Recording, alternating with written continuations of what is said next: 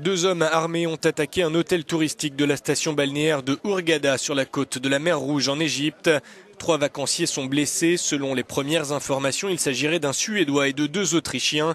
Un des assaillants a été abattu par la police. Quant à l'autre, il a été gravement blessé. Ils sont arrivés en bateau par la mer arborant un drapeau noir, des armes et munis d'une ceinture explosive selon certains témoins mais les versions se contredisent.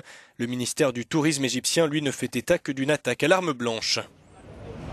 Hier, toujours en Égypte, c'est un bus de touristes israéliens qui a été pris d'assaut près des pyramides de Gizeh.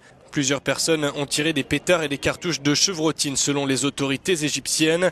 L'attaque n'a fait aucune victime. Le bus qui était stationné devant un hôtel était presque vide. Le groupe État islamique a revendiqué l'attaque dans un communiqué.